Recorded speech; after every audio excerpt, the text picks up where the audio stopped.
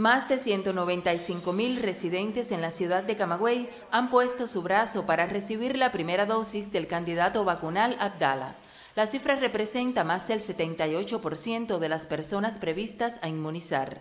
En el territorio que tiene una elevada tasa de incidencia de la COVID-19, funcionan 288 sitios vacunales entre consultorios del médico y la enfermera de la familia y otros locales habilitados. La sede del Museo Ferroviario es uno de ellos. Aquí acude la población del local 15, perteneciente al Policlínico Rodolfo Ramírez Esquivel de la capital agramontina. Se han cumplido todas las medidas, todos los protocolos, eh, la población está muy optimista, se han vacunado 900 eh, pacientes, ya estamos terminando.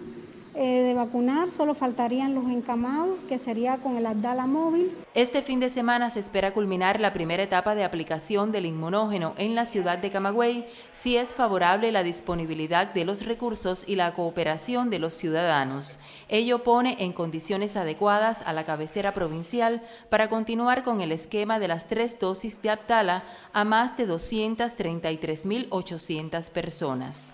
En Camagüey, María del Carmen Fuentes, Sistema Informativo de la Televisión Cubana.